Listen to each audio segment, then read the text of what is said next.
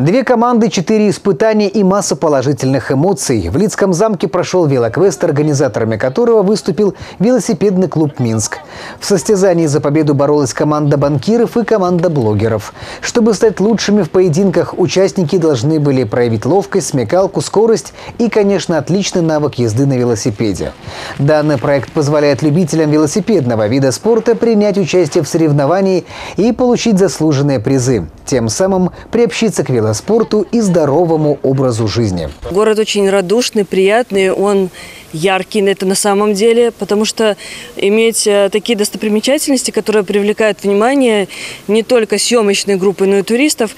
И на самом деле мы, когда выбирали, э, где мы будем проводить наши съемки, Лида, наверное, была одна из первых, которая сразу мы поставили галочку, что да, нам надо ехать сюда. Каждый сезон он разный.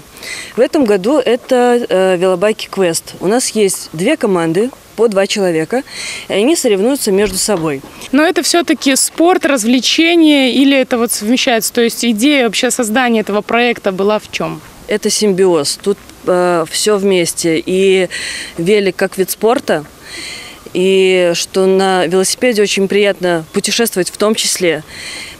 И такая игровая история, чтобы люди э, получали удовольствие от того, что они делают.